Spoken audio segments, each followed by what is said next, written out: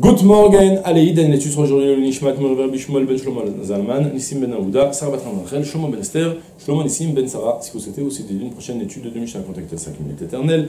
Nous étudions Masechet Menachot, פרק ד' משנה ב', הפרים והאלים והכבשים אינן מעכבין זה את זה.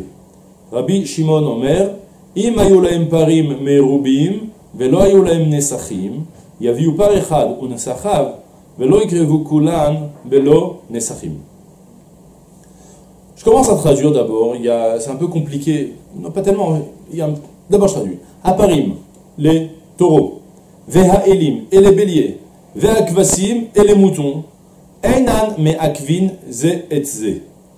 Littéralement, on a l'habitude de cette expression maintenant, l'un n'empêche pas l'autre. C'est-à-dire, c'est plusieurs éléments qui composent une mitzvah. Si je ne parviens pas à avoir tous les éléments, mais que quelques-uns, alors je m'acquitte de la mitzvah. Non, non. De quoi on parle plus précisément Là, ça devient un petit peu plus compliqué. Je vous explique une règle générale d'abord de lecture des korbanot dans la Torah. Et il y a, dans deux parachiotes de la Torah, la Torah précise des korbanot à apporter. Et dans le livre de Vaïkra, dans Parashat mort, là-bas, la Torah, elle fait le tour de toutes les fêtes. Euh, ouais, d'accord Là-bas se trouve la paracha du Homer, le korban à Homer à apporter, le, le korban de Shavuot et tout ça. Et il y a, à part ça, dans Parashat Pinchas, dans le livre de Bamidbar, où la Torah reprend de nouveau les korbanot. Maintenant, il faut savoir, c'est pas du tout une répétition des korbanot. C'est, on parle de deux sujets distincts, d'accord? C'est une donnée générale pour euh, bien lire la Torah pour comprendre ce qui se passe. On va parler de Shavuot par exemple.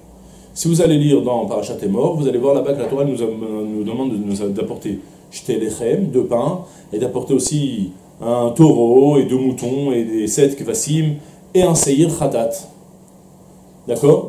Vous allez lire ensuite dans Parashat Pinchas, dans le livre de Bamidbar, et vous allez voir de nouveau que la Torah nous dit tu apportes, euh, je ne sais pas si c'est un par, et deux Elim ou un Il, je pense que c'est deux Elim, j'imagine, deux Elim et sept Kvasim. Apparemment, c'est la même chose. Ouais, 1, 2, 7, c'est le plus. Ouais, et eh bien c'est faux, c'est pas du tout la même chose. Il y a deux choses distinctes. Dans Parashat Bamidbar, la Torah nous donne les moussafines. Chaque fois qu'on a un Yom Tov dans la Torah, alors la Torah nous dit d'apporter plus de korbanot, c'est les korbanot moussaf. En rapport avec ces korbanot, nous on prie aujourd'hui la tfila de moussaf, puisqu'on fait la tfila à la place d'apporter les korbanot. Alors, puisque dans, dans, un jour de Yom Tov classique, on apportait à la fois le korban tamid, donc on fait shacharit, on apportait le korban moussaf, une un plus, ouais, moussaf c'est dire qu'il y en a plus, donc aujourd'hui on fait une tfila de moussaf en plus. Maintenant, ce qui se passe dans Parashat et mort, c'est autre chose, c'est encore une autre mitzvah à Shavuot, il ne fallait pas apporter 1 plus 2 plus 7 qui font, comment j'ai dit, 1 plus 2 plus 7, ça fait, ça fait 10. Il n'y avait pas 10, il y avait 20.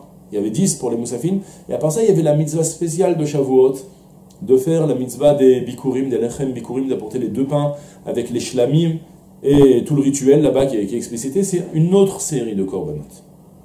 D'accord? Si vous avez compris ça, eh ben c'est très simple. Maintenant, le Barthénois nous explique, il rallonge beaucoup le Barthénois pour expliquer, c'est de ça qu'on est en train de parler. Qu'il y a Aparim, Vaelim, Vagvasim, les taureaux et les béliers et les gvasim, de quoi on parle C'est pas un par rapport à l'autre. C'est la série explicitée dans, le, dans la parachat est mort et la série explicitée dans la paracha de, de, de Pinchas, l'un n'empêche pas l'autre. C'est-à-dire que si on se retrouve au Misbeach, au Beth et qu'on n'a pas tous les corbanotes, on a réussi à avoir qu'une seule série, et eh ben tu les apportes. Tu as réussi à avoir, tu as voulu faire les, les, moussafines, ben tu fais les moussafines. Et s'il n'y a plus d'autres corbanotes, eh ben tant pis. Tu, auras comme, tu accompliras comme ta mitzvah si tu apportes les moussaf. Ça ne forme pas une grande mitzvah, les deux, les deux sujets, les deux séries de corbanotes explicitées dans Emor et dans Psachim. C'est deux choses distinctes. L'un n'empêche pas l'autre. Ça, c'est une première interprétation. Si vous avez la Mishnah détaillée, vous, devez remarquer qu'il y a aussi des très longs Tosotium Tov qui rallongent. Succinctement, je vais vous rajouter des petits détails. Je vais vous expliquer, c'est rapporté très concisément dans Tifat Israël, et heureusement d'ailleurs, pour moi, qui prépare le chiot, ça m'a beaucoup aidé. J'ai eu du mal à lire, à comprendre exactement ce qui se passe, mais grâce à lui, j'ai tout compris. Maintenant, regardez que chaque série, elle est composée de trois éléments, Parim, Gvasim, Elim. Parim, Elim, Gvasim. Alors, le Tiferet d'Israël, Tosotium Tov, rapporte qu'en réalité, en fait, c'est un peu discuté, mais en tout cas, concrètement, c'est rapporté comme ça, on tire la, la conclusion, qu'il y a deux séries. La série en rapport avec la mitzvah de balancer les deux pains de Parashat mort, et la mitzvah des korbanot, des moussafim, dans la Parashat Pinchas.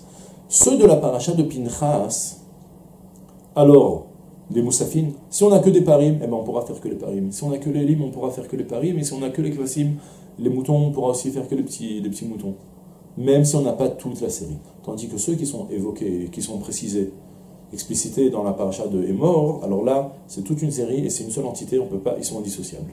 D'accord? C'est-à-dire, soit vous les avez et vous faites votre mitzvah, soit si vous ne l'avez pas, vous ne pourrez pas faire la mitzvah d'apporter les corbanotes.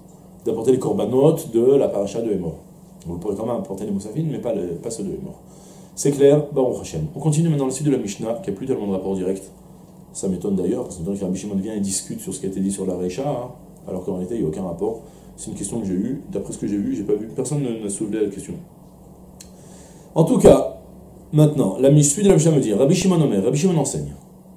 Im hayu lahem parim merubim, velo lahem nesachim. S'ils avaient la possibilité d'obtenir beaucoup de taureaux, mais pas beaucoup de nesachim, d'oblations, vous savez bien qu'à chaque korban que l'on apporte, il fallait apporter en plus de ça une minchat, euh, il fallait apporter une oblation de semoule, d'accord? Et en plus de ça, même aussi du yaïn. Veniskem, Khatsi Yaïn, comme on avait lu dans le, dans le Moussaf de Rosh on est précise pour chaque euh, animal que l'on va faire monter sur le Misbéach, en Moussaf par exemple, et eh bien, il faut apporter en plus de ça, par rapport à chaque animal, une oblation de semoule avec de l'huile dedans, et à, ça, et à part ça, une oblation de une mincha de minchat yain. Minchat nesafim, ça s'appelle, d'accord? Eh bien, question.